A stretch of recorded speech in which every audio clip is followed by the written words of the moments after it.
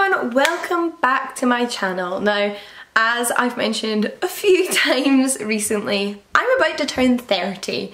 I'm turning 30 on the 23rd of March and I am super excited for this new stage in my life. I'm very excited for my 30s. I have a really good feeling about them.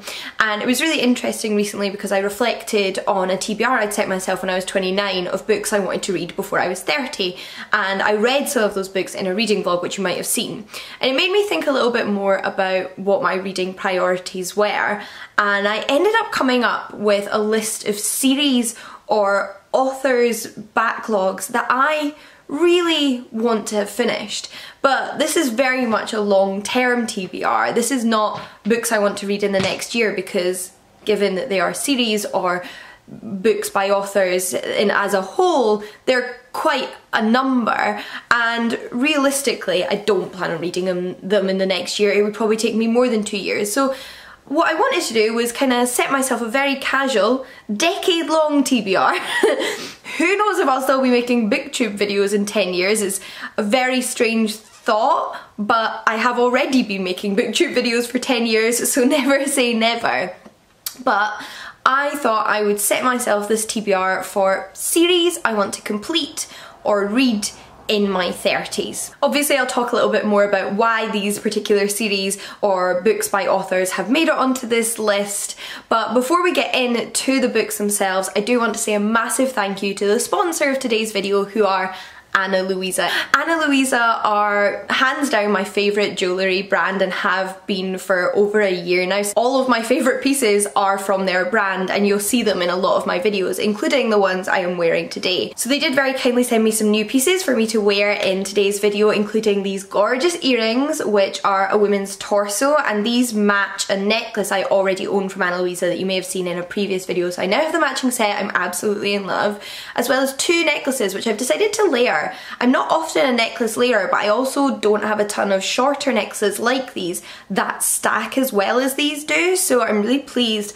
that I can now mix and match these with some of my other pieces and can capture a variety of different vibes. Plus I have my first ever Ana Luisa ring on. This is actually an adjustable ring, so I am not a big ring wearer. It's something I'm trying to wear more of. In fact, in my 30s, I really want to become a ring wearer. I just don't have many and haven't found many I like. So I love the simplicity of this sort of rope style ring that like I mentioned was adjustable so I can wear it on a bunch of different fingers. Ana Luisa is a brand that makes a lot of long lasting, good quality pieces of jewellery made out of most commonly recycled metal, which is absolutely incredible and given I am about to be a woman in my 30s it's really nice to have begun replacing a lot of my cheaper costume jewellery and now truly be wearing the pieces that I'm probably going to be wearing for the next decade or two or three. So basically what I'm trying to say is I absolutely love Ana Luisa and if you're looking for some new pieces for yourself or for gifting opportunities, Mother's Day is coming up,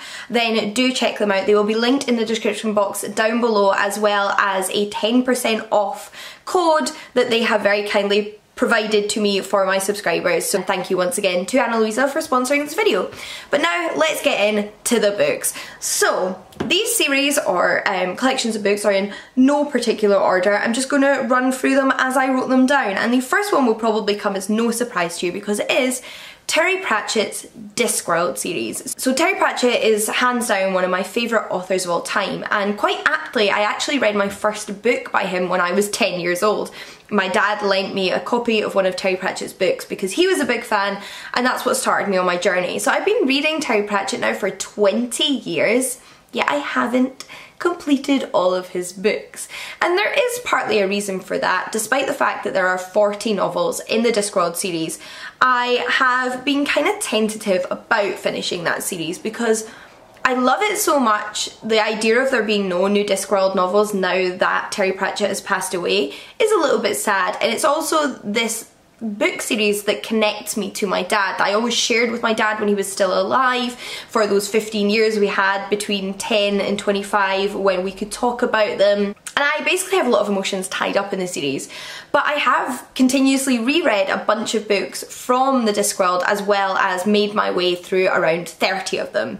However that does still leave me with 10 or a quarter of the Discworld books to read, which is something that I can't believe I haven't done yet, but also I'm very excited to know that I still have to enjoy. And I would really love to read those 10 last novels over the next few years in my 30s. I think there would be something quite special about that. I want to stop putting them off.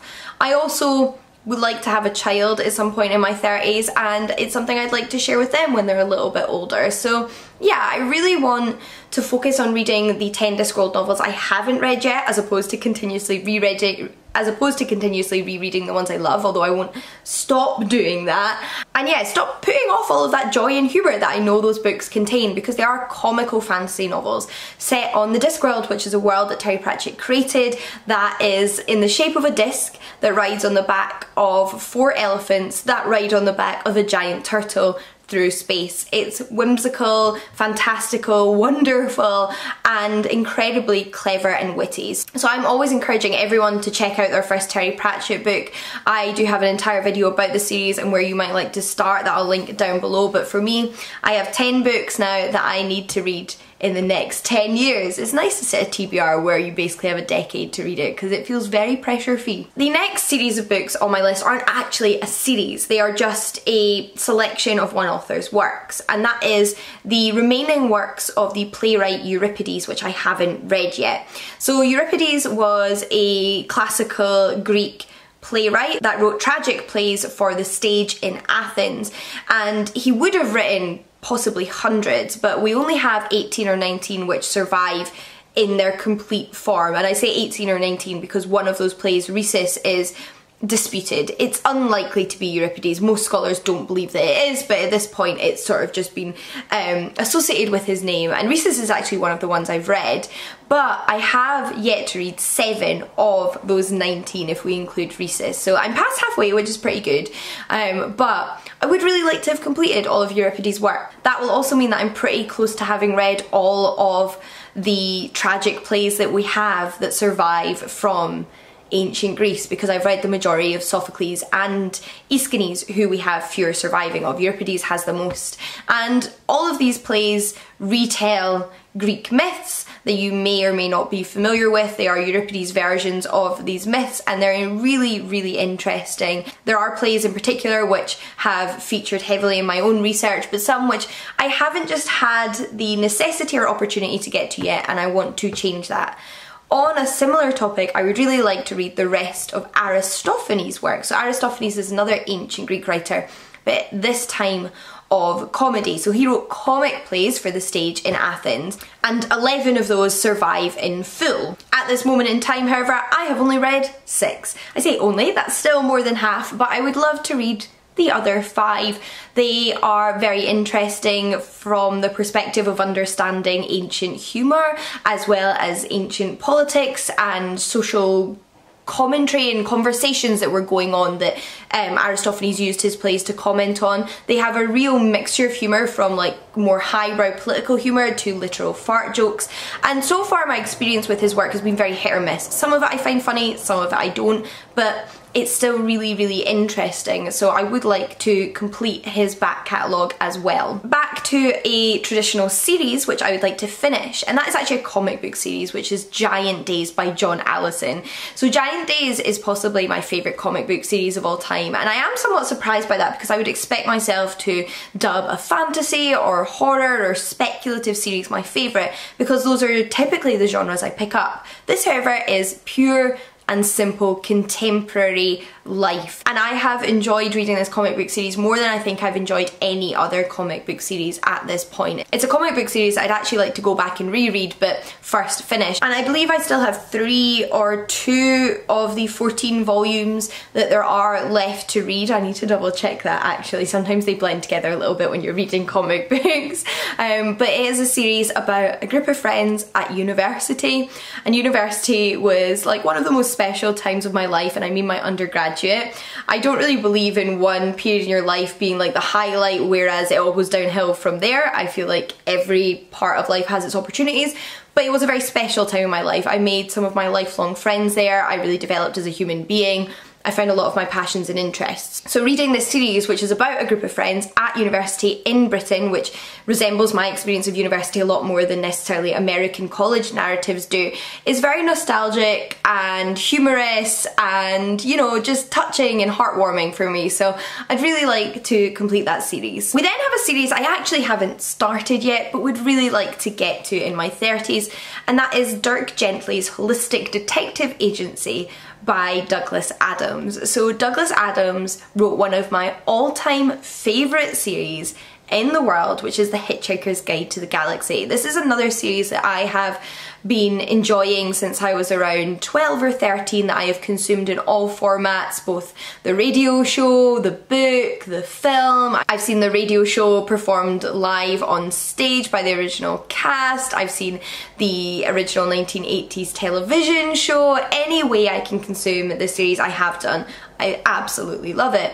Yet still somehow I have never gotten around to reading Douglas Adams' other big series and most famous piece of work, which is the Dirk Gently series. And this is another one which is a little bit like speculative, science fiction fantastical. I'm not quite sure how all of that manifests. But as opposed to being set in space, it's set on Earth and we follow Dirk Gently, who is of course a holistic detective. And I don't know what to expect from this series, except I am sure for Douglas Adams, absolutely on point humour. But I can't wait to discover what it's all about. We then have a series which is definitely an outlier on this list. It's a bit of a random one, but it's a series I started last year, very much on the back of TikTok or BookTok, which is the Ice Planet Barbarian series by Ruby Dixon. So this is a science fiction smutty romance series. It's very high on the smut level. And I picked them up because everyone on BookTok was talking about them and I needed something purely escapist that would be easy to read, that would be like relaxing and wouldn't take a lot of brain power. So I thought, hey, I have Kindle Unlimited, let's give it a shot. And I was so surprised by A, how well written these books are, and B, how compelling the storylines are. Yes, there's a large focus on the romance and the smut elements, but they're also really interesting in terms of science fiction world building, exploration of emotions and character development. And I ended up on a rabbit hole. I think I have now read seven of the series and there are definitely enough books that go into the double digits at this point but I'd like to keep going. I'd like to see what happens to all of the characters I've met throughout the first seven books in their own journeys because each book focuses on a new romance between a new couple. So basically I want to carry on with the series, I want to read the rest of the stories in my 30s and I want to have said that I can tick that one off my list. We then have a series which I've actually only read one book in but it's one of my favourite books of all time so I really need to get on the rest of the books and that is the Wayfarers series by Becky Chambers. So the first book in the series is The Long Way to Small Angry Planet which is a science fiction novel which is very very character driven and I love that. Like character driven novels are what I look for. Characters are the most important part of stories for me as a reader. And it's also a book which is very hopeful and joyful and I just loved everything about it. So I've kind of been nervous to read the next few in the series because each book follows different protagonists. We leave those protagonists I grew to love in book one and follow new protagonists but in the same science fiction far-flung future world. So I decided to leave a little bit of time between books one and two, but now it's just getting ridiculous. I'm basically just not reading the sequel to one of my favourite books of all time for no reason at this stage. And I'd love to be able to say that the series is one of my favourites of all time. So it is definitely a high priority for my 30s. Another series which actually I've only read one book in and I'm kind of appalled by and really want to finish is The Diviners by Libba Bray. So this is a YA paranormal fantasy series set in 1920s USA and I read Libba Bray's other series which is A Great and Terrible Beauty years and years ago. I actually read it when my dad was very ill and it was a real escapist comfort series for me. It quickly became an absolute favourite and since then I did start the Diviner series, like I said, I read book one, I loved book one, it's sort of a paranormal mystery with a paranormal serial killer like I said in 1920s America. And then I did start book two but for whatever reason just didn't get into it. And there are four books in this series. So I need to go back, I need to persevere, I need to push through whatever was blocking me in book two. And I need to carry on and find out what happens to our characters because I am convinced I will love this series if I just, you know, dig back in. Then another series which I haven't started is the Parable of the Sowers series by Octavia E. Butler. So Octavia E. Butler is another author who's written one of my favourite books of all time which is Kindred, a time travel novel that is so incredibly well written with such interesting characters and so like emotionally heart-wrenching. I absolutely adored it, I recommend it to everyone but I've never read anything else by this author and I'm particularly interested in Parable of the Sower which is her dystopian series that's probably most famous after Kindred or maybe tied with Kindred in the sort of literary world. I've heard nothing but phenomenal things about it, I have complete faith in Octavia Butler's writing because of Kindred so I really just want to make sure that I carry on with her work and make this series my next read. The last series on this list however is a bit more of a nostalgic one. It's one that I've actually read in part before and I'm currently on a reread of and it's the Card Captors manga series. So Card Captors was an anime adapted from a manga that I used to watch on television as a kid and it was one of my absolute favourite shows. I was head over heels with this show. Then when I was a little bit older I watched the original Japanese version with subtitles and discovered all the things that they'd removed from the English dubbed version, particularly a lot of the queer stuff. And that was really what started me reading manga in general. I ended up picking up the Cardcaptors comic, I ended up picking up the Cardcaptor series to read and then discovering other series. But I don't think I ever finished Cardcaptors from what I remember. When I was growing up at some point I just forgot to keep reading it. So I started rereading it during lockdown originally and I want to carry on with that reread and complete the series. There is a follow-on series called Cardcaptors clear card which I would like to read but it's not as high priority as just completing the original Cardcaptors series.